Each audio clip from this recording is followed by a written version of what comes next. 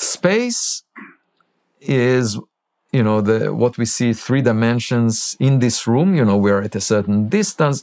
I mean you can put core, a coordinate system in three different directions that are perpendicular to each other. These are the three dimensions of space okay? So um, there is up down one side and the other side mm-hmm. okay? So three axes these are the coordinates that you can define any object in this room as being at a, at a given location in three dimensional space. Mm-hmm. Okay. Um, in addition to that, we have watches. We can measure the progress of time, right? So we see an object that can move from one location to another if it has some velocity that connects these two locations. And um, so we have a sense of time as being snapshots of the three-dimensional space taken one after the other. Okay, so that that is the whole difference between taking a camera photograph and a movie. A movie is a sequence of such photographs. Okay, so so in addition to the three coordinates of space, we have time, and before Einstein, it was thought that these are very different things. That space is rigid, you can't really curve it, torque it, um, and that it's flat. Basically, that if you draw a triangle in real space, the sum of the angles will always be 180 degrees, as if it's lying on a flat surface. Einstein introduced into physics the idea that gravity is curved space because objects can curve space. So if you draw a triangle uh, near the sun, it will not the, the angles will not add up to 180 degrees. There is a slight deviation that space is curved. It's sort of like if you draw a triangle on the surface of a balloon, okay?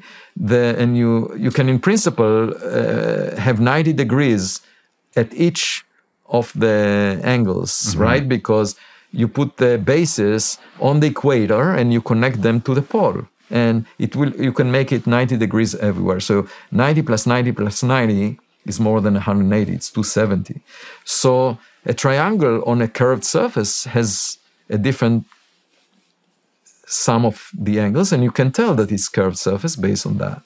You can measure it. And amazingly in the real universe uh, we actually drew a triangle uh, and um, we can tell that space is flat. It's it's just like uh, the naive expectation because our universe is the simplest possible.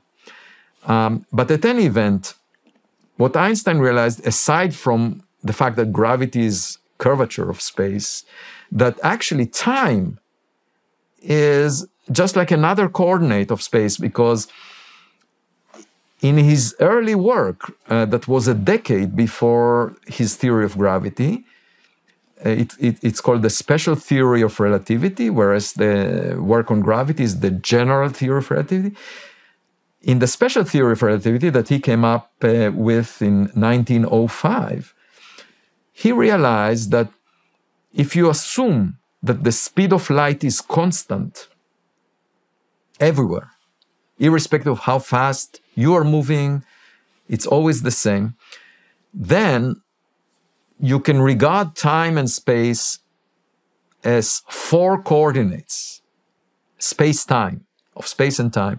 And you have events in space and time. So previously we said the location of an object in the room is defined by the three coordinates of space. But now you can also define an event by uh, tagging it with a time that you measure on a clock. Mm-hmm. And turns out that events are not occurring at the same time in all frames. May, they may occur at the same time in one frame, but if you are moving relative to that frame, Einstein demonstrated, in order to keep the speed of light as constant, it will not be at the same time in a, in a moving frame. And actually, length is contracted when you move. And time could be dilated. Time is progressing more slowly in a frame that is moving. Uh, so it, that was actually measured because there are radioactive elements, isotopes, that they are just like a clock. They decay after some characteristic time. Not all of them after the same time, but there is a characteristic time for their decay. It's called the half life. And if you were to take those isotopes and accelerate them to a very high speed, close to the speed of light, they would decay in their own frame after that characteristic time. But in your laboratory frame where they are moving, they would last much longer. Hmm. So, in order to maintain the constancy of the speed of light, you have to recognize that time and space are relative, uh, depending on whether you are moving or not. So Einstein basically put together space and time as four coordinates of any event and showed how you can transform them from one frame of reference to another. Whether you are moving or not, you will see different things happening. Okay. And um, so space time became a concept. But then in his theory of gravity, he suggested that gravity is just the curvature of space and time. Now, what's beautiful about the universe is that time is ticking at the same rate everywhere if the universe is uniform. So you can put clocks and they would tick at the same rate everywhere. And therefore, you can have a universal sense of time. That's why we say, you know, when we look at the photograph from the Webb telescope, we can tell at what cosmic time the light was emitted. Because time is ticking at the same rate everywhere in a uniform universe. When you get close to a black hole, time would be ticking much more slowly because the situation is different. You have an object which is different from its environment. But for a uniform universe, the temperature, the the conditions are the same everywhere. The density of matter is the same, the temperature is the same, and time is progressing at the same rate everywhere. So that's a sense of having a universal time in the universe. Since the Big Bang, the Big Bang happened at the same time everywhere. It was not in a point in space, it was just at a point in time. So everywhere in the universe, the density was infinite at the same time the way to think of it is just think of a cake that has raisins in it and it's rising. That's like space expanding. Um, so the raisins are receding away from each other, but if you go back, they approach each other everywhere in the cake. So, so it doesn't matter where you are, you see the same density of raisins in all parts of the cake.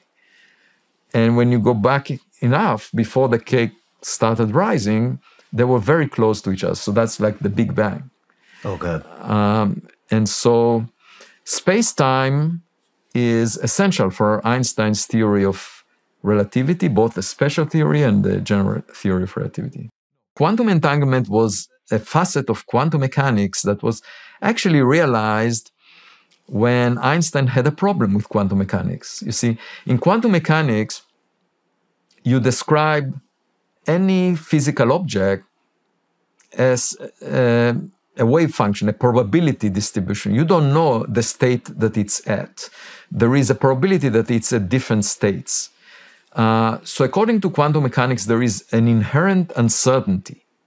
For example, an electron cannot be pinned down to have a particular velocity at a particular location. You know, we think of billiard balls that they have a particular place at a particular time. But that's not the way to think about billiard balls or electrons. According to quantum mechanics, there is a probability distribution for the, where they are at, uh, and what velocity they have. And if you wanted to know exactly where they are, you will have no idea about their velocity.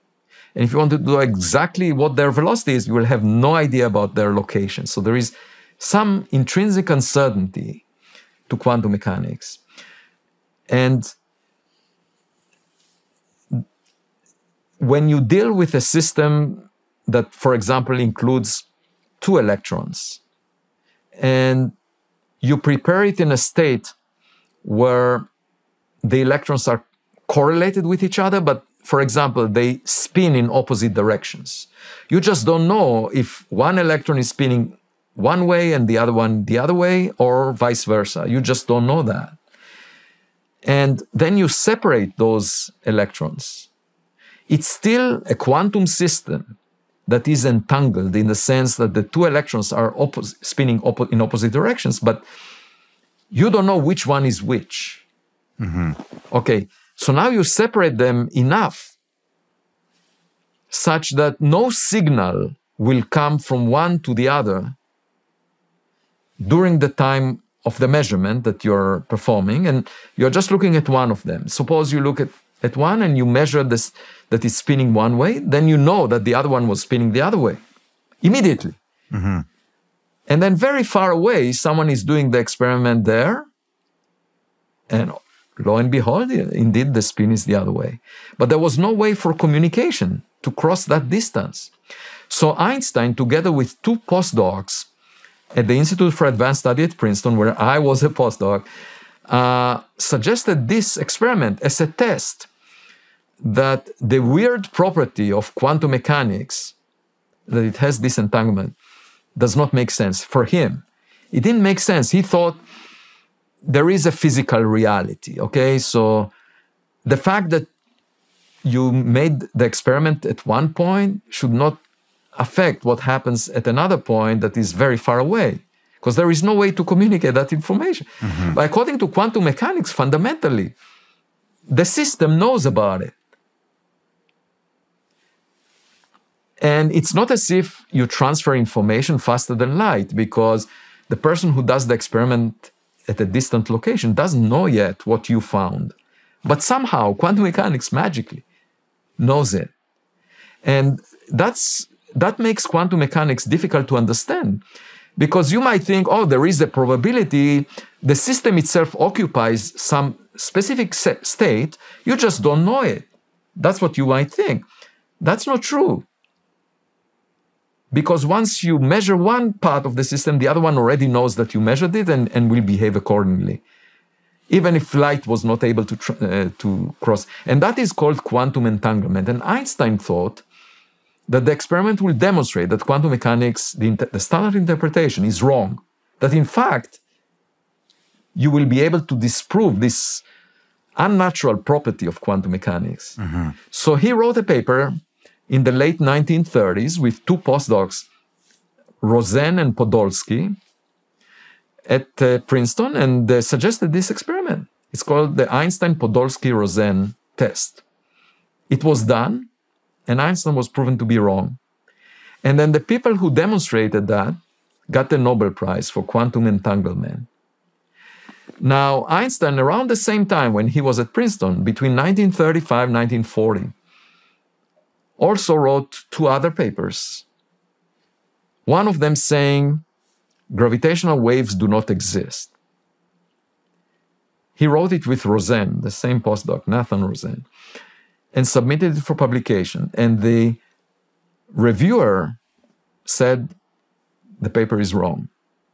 It was the Physical Review, a very prestigious journal. And Einstein got upset and said, How dare you even review my paper because I'm Albert Einstein, you know? And he said, I will never submit a paper to your journal. Uh, and actually, that reviewer saved Einstein from an embarrassment. There was already a report about his work in. Uh, uh, newspapers. And the experiment that demonstrated that Einstein was wrong was done in 2015. The LIGO experiment detected gravitational waves from the collision of two black holes uh, at the edge of the universe. And it did it with uh, laser beams uh, um, that, um, you know, when the gravitational wave, which is basically the way to think of it is you know, each black hole curves space time around it. And when you put another one and let them orbit the center of mass that they have, uh, they create ripples in space time that propagate out. Just like when you move a stick in a pond, you create ripples on the surface of the pond. So, in the same way, the motion of the two black holes, when they come together, creates ripples in space time that reach us. And when you have two laser beams, uh, um, you know, orthogonal to each other, you can see a contraction of space in one axis and uh, an, ex- an extension of space in another as the wave is passing by. You see a periodic change. And that's what the LIGO experiment did. And in 2015, detected gravitational waves, demonstrating that Einstein's argument back then was definitely incorrect, as some people said. And uh, they got the Nobel Prize for it. And then Einstein also wrote a paper in, uh, that uh, black holes do not exist. Hmm. His argument was you take a star and you let it collapse. Well, its stars are spinning, so the rotation will prevent the material from reaching a point. And he probably wrote this paper because there was rivalry with Robert Oppenheimer, uh, who was the director of the Institute for Advanced Study at Princeton at the time. And he wrote a, an important paper about the collapse of stars to black holes, one of the early papers with uh, Snyder. And, and Einstein perhaps was motivated to show him wrong, and he suggested that rotation will prevent the formation of a black hole. Again, we see black holes. We even have an image of them. We detected them with the LIGO experiment in this uh, gravitational wave burst that was discovered. So the people who discovered black holes got another Nobel Prize. Uh, in, in, in, all of this in the last decade. So, what is the lesson? That in science, when you work on the frontiers, very often you can be wrong because you don't know what the, the right answer. And even Albert Einstein made three mistakes, but the people who proved him wrong got the Nobel Prize for each of these. So being wrong is actually part of your learning experience. Mm-hmm. And it should be accepted and welcomed because when you are wondering and you're curious, you might be able, you might make mistakes, but that's part of the learning. And eventually we all learn from that.